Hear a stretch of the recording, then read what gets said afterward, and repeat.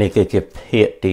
99ដែលនឹងបំណក់ស្រាយលើមេតិកាខ្លះដែលតកតងនឹងប្រទេសកម្ពុជា ហើយនៅក្នុងមេតិកានេះខ្ញុំបាទសូមលើកយកមកថានៅពេលថ្មីថ្មីនេះ មានអស់លោកអ្នកមួយចំនួន បានទូងស្គាល់លោកចាយ៉ាំសបាយរីករាយដល់មហាសច្ចាជោគគឺថាសបាយរីករាយដល់មហាសច្ចាអបអរនិងជោគជ័យដែល ប្រទេសកម្ពុជា បានទទួលកំណើនសេដ្ឋកិច្ចចំនួន7%ហើយលោកហ៊ុនសែនអួតថាជាង7%ទៅទៀតដែលជាការគុនគូសន្និដ្ឋានទោះទាយរបស់ធនាគារពិភពលោកខ្ញុំបាទរីករាយណាស់ហើយខ្ញុំបាទក៏ចង់ពំនាំនៅគំនិតនិងដំណឹងនេះយកមកធ្វើបំណក់ស្រាយជូនលោកអ្នកទៅតាមសទ្ធារបស់លោកអ្នកថាតើលោកអ្នកទទួល ណាគិតយ៉ាងណាក៏ស្រេចទៅលោកអ្នកគ្មានការបង្ខិតបង្ខំឡើយជាការពិតប្រទេសកម្ពុជា នៅក្នុងអត្រាកំណើនសេដ្ឋកិច្ចបានទទួលការអភិវឌ្ឍផ្នែកសេដ្ឋកិច្ចរហូតដល់7%ហើយអត្រានេះខ្ពស់ជាង អត្រាកំណើនសេដ្ឋកិច្ចនៅនានាប្រទេសនៃប្រជាជាតិសហគមន៍ប្រទេសអាស៊ាន អញ្ចឹងយើងទៅលេខមើលសិនដំបូងយើងគិតអំពីប្រាក់ចំណូលប្រាក់ចំណូលយើងខ្ញុំបាទជឿហើយថានៅក្នុងប្រទេសកម្ពុជា មានអស់លោកមួយចំនួនតូច ដែលរកប្រាក់ចំណូលបានសន្ធឹកសន្ធាប់សឹងតែទិញមនុស្សមួយភូមិមួយស្រុកយកទៅកាប់ចោលកវត្តលុយដាក់លើសព ក៏អាចទិញបានយ៉ាងងាយបើបុកមនុស្សវិញ ច្បាប់ប្រទេសកម្ពុជាប្លែកណាគឺគេបុកមិនងាប់គេកិនឲ្យឆាប់ងាប់ដើម្បីគេកវែងលុយដាក់លើខ្មោចដូច្នេះពលគឺប្រជាជនអស់លោកអ្នកមួយចំនួនពិតជារកលុយបានមែនតែនមិត្តភ័ក្តិរបស់ខ្ញុំបាទក៏ប្រាប់ដែរថាគេរកលុយបានសម្បើមណាស់នេះគឺជារឿងមួយដែលខ្ញុំបាទប្រាប់គេវិញថាជារឿងគួរឲ្យត្រេកអរ ប៉ុន្តែលោកអ្នកងាកទៅរកអ្នកដែលមាន ប្រាក់ចំណូលដ៏រហ័សរហ័យនៅក្នុងកម្ពុជាសិនយើងក្រឡេកមើលមន្ត្រីរាជការថ្នាក់ក្រោមដែលគ្មានដីលក់ដែលគ្មានបពពួកដើម្បីនឹង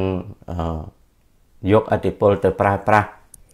រកប្រាក់ចំណូលហើយទទួលប្រាក់ខែតាមក្របខ័ណ្ឌមន្ត្រីរាជការ តើក្របខ័ណ្ឌតើប្រាក់ខែដែលបានតាមក្របខ័ណ្ឌមន្ត្រីរាជការនោះបើកមកមួយខែទិញគុយទាវហូបបានប៉ុន្មានចាន បង់ថ្លៃទូរស័ព្ទប៉ុន្មាន បង់ថ្លៃទឹកថ្លៃភ្លើងថ្លៃសាំងម៉ូតូឡានប៉ុន្មាន បង់ថ្លៃសាលាកូនប៉ុន្មាន បង់ថ្លៃម្ហូបអាហារសម្លៀកបំពាក់ ឧបភោគបរិភោគនិងបរិខាប្រចាំថ្ងៃអស់ប៉ុន្មាន ហើយយកមកគិតមើលថាតើប្រាក់ចំណូលក្នុងមួយខែមួយខែ តាំងពីថ្នាក់អាចមួយដុំចុះរហូតដល់ប្រជាជន ដែលធ្វើមន្ត្រីរាជការថ្នាក់ទាបតើប្រាក់ចំណូលក្នុងមួយខែមួយខែនោះទិញបានអ្វីហូបប្រើប្រាស់និងសบายខ្លះហើយបន្ទាប់មកទៀតលោកអ្នក ទៅគិតដល់បងប្អូនជនរួមជាតិដែលទទួលប្រាក់ខែរហិតរហ័យដទៃទៀតដូចជាកម្មករកម្មការិនីរោងចក្រអ្នកបើកយានយន្តសម្រាប់បម្រើសេវាកម្មតាំងពីតុកតុកម៉ូតូឌុបរហូតដល់តាក់ស៊ីឡានទឹកអ្នកដំណើរជាដើមឡាហើយនឹងអស់លោកដតីដែលធ្វើការនៅក្នុង private sector គឺធ្វើការនៅក្នុងហាង នៅក្នុងរោងចក្រនៅក្នុងការិយាល័យរបស់ឯកជនរបស់ក្រុមហ៊ុនឯកជនតើប្រាក់ខែចំណូលដែលបានមកនោះយកទៅទិញគុយទាវហូបបានប្រមាណចានចាយវាយ៉ាងម៉េចយ៉ាងម៉េចក្នុងការប្រើប្រាស់ឧបនឹងគ្រឿងឧបភោគបរិភោគនិងតម្លៃសាំងភ្លើងទឹកឬឈ្នួលផ្ទះជាដើមនោះតើទិញដូរយកប្រាក់ចំណូលនេះមកប្រើចាយវាយបានប៉ុន្មាន ក្រោយមកទៀតលោកអ្នកមិនបាច់ទៅមើលស្ថិតិឬទិន្នន័យសេដ្ឋកិច្ចអីនាំលំបាកទេលោកអ្នកគ្រាន់តែឆ្លងទៅឡាវលោកអ្នកឆ្លងទៅវៀតណាម លោកអ្នកឆ្លងទៅថៃឡង់ហើយលោកអ្នកប្រដូចអំពីប្រាក់ចំណូលរបស់ប្រទេសគេ ហើយ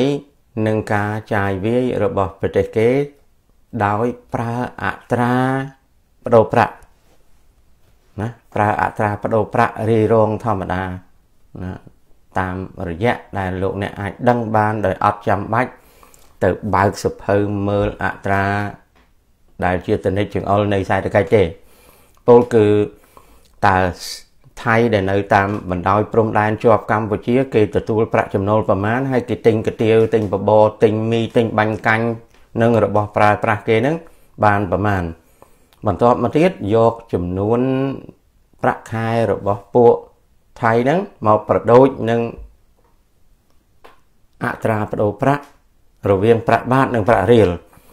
ហើយយកមកគិតមើលថាតើប្រាក់រៀលប៉ុណ្ណឹងស្មើនឹងប្រាក់បាតទិញបានអីហូបខ្លះទិញបានអីប្រើប្រាស់ខ្លះសុំទោសទៀតណាអាងាកទៅឡាវលោកអ្នក ធ្វើការកណនាដូចគ្នាងាកទៅវៀតណាមធ្វើការកណនាដូចគ្នាអញ្ចឹងលោកអ្នកនឹងអាចដឹងបានថា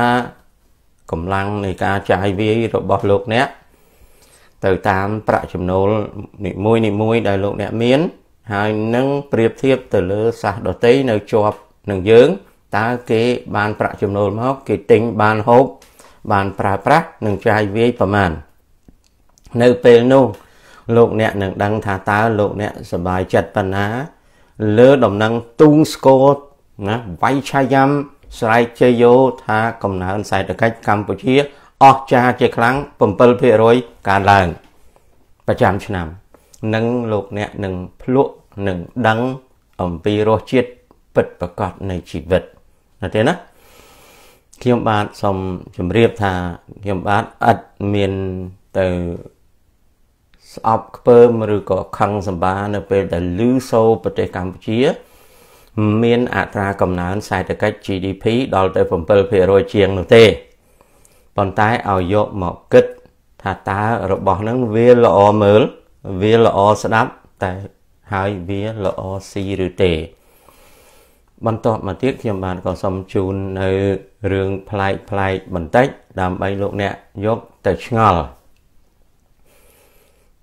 ប្រទេសមួយចំនួនអួតអាងអំពីកំណើនសេដ្ឋកិច្ចរបស់ខ្លួន រហូតដល់7%ណា6% 7% 8%ជាដើមហើយធនាគារពិភពលោករូបិយមូលនិធិរូបិយវត្ថុអន្តរជាតិធនាគារអភិវឌ្ឍអាស៊ីនិងស្ថាប័នហិរញ្ញវត្ថុស្ថាប័ន តកតងនឹងហិរញ្ញវត្ថុសេដ្ឋកិច្ចសកលលោកតែងសរសើរអំពីភាពចម្រើនជឿនលឿននៃអត្រាកំណើន GDP នេះចុះលោកអ្នកដឹងទេថានៅប្រទេសអាមេរិកប្រសិនបើអត្រាកំណើនសេដ្ឋកិច្ច GDP អាចមានលំនឹងចំនួន3%ឬ3%ជាងបន្តិចមិនបាច់ចាំដល់4%ផងប្រទេសអាមេរិក ទទួលនៅសេចក្តីសប្បាយរីករាយមានការងារធ្វើប្រាក់ចំណូលរកបាន ហើយចាយវាយប្រើប្រាស់យ៉ាងសប្បាយអញ្ចឹងលោកអ្នកគិតមើលមិនបានជា GDP កំណើន GDP អាមេរិកត្រឹម3%គេសប្បាយប្រជាជនគេសប្បាយទទួលផលលាភសេដ្ឋកិច្ចហើយ GDP ប្រទេសកម្ពុជា7% តើសុបាយប៉ុណ្ណាខ្ញុំបាទមិនមែននិយាយថាលោកអ្នកមិនសុបាយទេប៉ុន្តែខ្ញុំបាទចង់ឲ្យលោកអ្នកកលេចមើលជុំវិញខ្លួន លោកអ្នកដែលមានបាន លោកអ្នកដែលសុបាយចាយសុបាយស៊ីសុបាយប្រើសុបាយដើរលេងងាកជុំវិញខ្លួនតើតើនៅជុំវិញខ្លួននឹងបងប្អូនយើងសុបាយប៉ុណ្ណាចំណែកលោកអ្នកដែលមិនសុបាយខ្វះមុខខ្វះក្រោយក្នុងចំណាយនៅក្នុងប្រទេសកម្ពុជាដោយប្រាក់ចំណូលទាប ហើយរកអីអត់បានពុកលុយអត់បានអត់មានដីសម្រាប់លក់អត់មានហាងឆេងអត់មានបាក់មានពួកអត់មានបញ្ញារកទៅតាមសមាអាជីវៈមកខ្លួនឲ្យបានទៀតតើសបាយយ៉ាងណាមិនបានកំណើន GDP នៅសហរដ្ឋអាមេរិកត្រឹមតែ3%ប្រជាជនអាមេរិកនៅអាមេរិកអាចសបាយបាន ហើយទទួលផលលេបបាន យ៉ាងរីករាយសូម្បីតែមនុស្សដែលរស់នៅអត់ផ្ទះសម្បែងនៅក្នុងសហរដ្ឋអាមេរិកក៏គេហូបសាច់មាន់សាច់គោសាច់ជ្រូកណាគេហូបរបស់ឆ្ងាញ់បានហើយក៏គេមានមញេដាក់តិចឬរថយន្តដាក់រថយន្តសឹងគេមិននិយាយផងគេដាក់តិចគេស្ដាប់សបាយគេមានលុយទិញច្រើនផឹកណាមិនបានគេទទួលនៅលេប សេដ្ឋកិច្ចហ្នឹងយ៉ាងហ្នឹងហើយយើងងាកមកកាន់ប្រទេសកម្ពុជាវិញអញ្ចឹងខ្ញុំបាទសូមជម្រាបឲ្យយកទៅពិចារណាថាការទងស្គរមហោសចាស្រែកជ័យយោសបាយរីករាយនឹងកំណើនសេដ្ឋកិច្ច GDP 7%នៅប្រទេសកម្ពុជា គឺសូមអបអរជាមួយប៉ុន្តែសូមគិតដោយយក exchange rate យក exchange rate យក exchange rate លុយរៀលនិងលុយបាតលុយ រៀលនិងលុយឡាវលុយរៀលនិងលុយដងយួនហើយទៅមើលប្រជាជនយួនទៅមើលប្រជាជនឡាវទៅមើលប្រជាជនថៃថាតើប្រាក់ចំណូលនៅក្នុងអត្រា exchange rate ប៉ុណ្ណឹងគេមាន PPP យ៉ាងម៉េចណាអ្វីហៅថា P P P គឺ purchase power parity នៅក្នុង purchase power parity ប្រែជាភាសាខ្មែរងាយយល់គឺទឹកប្រាក់ដែលមានតម្លៃស្មើឬស្រដៀងនឹងចិត្តនឹងនានាប្រទេសតើទិញបានគ្រឿងឧបភោគបរិភោគហូបចុកប្រមាណឧបករណ៍ប្រើប្រាស់ប្រមាណសបាយនឹងចំណាយលើទឹកលើភ្លើងលើថ្លៃឈ្នួលផ្ទះលើសេវាកម្មទេសចរឬក៏លើក្មេងរៀនអីសពគ្រប់ហ្នឹងតើចាយបានប៉ុន្មាន ប្រសិនបើអត្រា exchange rate ស្មើនឹងលុយបាតហើយលុយបាតក្នុង100បាតឧបមាថានៅក្នុង1បាតស្មើនឹង25ដុល្លាររៀលទៅចុះតើ25រៀលលុយខ្មែរទិញគុយទាវបានប្រមាណចានហូបតើ25បាតលុយថៃទិញគុយទាវបានប្រមាណចានហូប ឧទាហរណ៍ថាលុយដងទៅចុះថាលុយខ្មែរ1រៀលស្មើនឹង500ដងឧទាហរណ៍ណាទេណាខ្ញុំបាទមិនមើលអត្រាដូរលុយពិតប្រាកដទេប៉ុន្តែ លើកជាឧទាហរណ៍ថាបើ1រៀលដូរបាន500ដងក្នុង4000រៀលលុយខ្មែរទិញបានត្រីចង្វា និងបន្លែតកួនឬក៏គ្រឿងក្រៅយកមកស្លបានប្រហែលឆ្នាំង ហើយក្នុង4000រៀលនេះដូរទៅលុយដងទៅទិញត្រីរៀលឬក៏ត្រីកូនត្រីយកមកស្លបានប្រហែលឆ្នាំងនេះគឺជាការបដូចបន្ទាប់មកទៀតបើលោកអ្នកសួរខ្ញុំបាទវិញថាលុយ1ដុល្លារ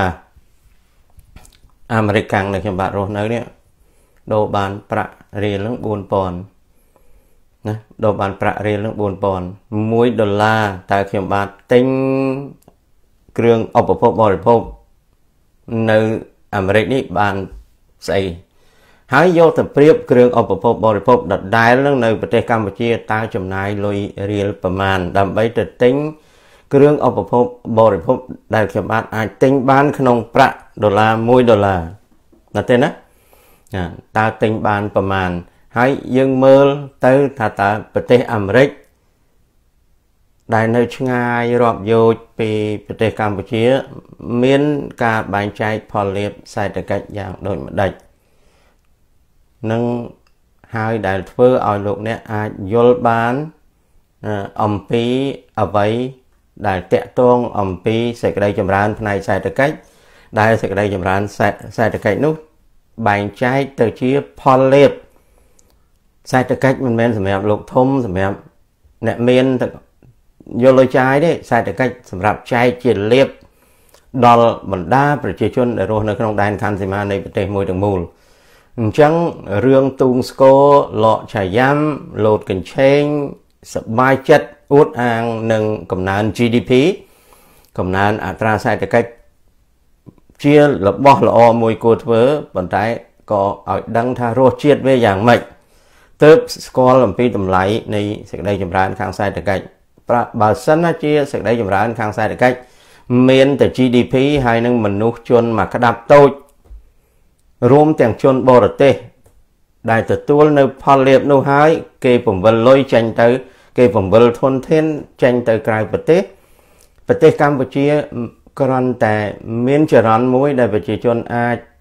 ត្រដរខ្យល់ដោយសត្វកណ្ដុរ សបាយនឹងការចាយប៉ុន្តែអត់មានការសន្សំហើយមនុស្សមួយចំនួនធំក៏ត្រដរនឹងការចាយដោយប្រាក់ចំណូលនឹងវាខ្វះមុខខ្វះក្រោយផលលាភនៃសង្គមនឹងវាអត់គ្រប់គ្រាន់ទៅលើបណ្ដាមនុស្សភាគច្រើននៃប្រទេសកំណើនសេដ្ឋកិច្ច7% GDP growth នេះគឺជារឿងមួយដែលជាបច្ចនសញ្ញានៃការគិត ថាតើវាមានខ្លឹមសារយ៉ាងដូចម្ដេចដែលខ្ញុំបាទទុកមួយចំណែកជូនលោកអ្នកគិតលេងលេងសាកមើលសូមអរគុណ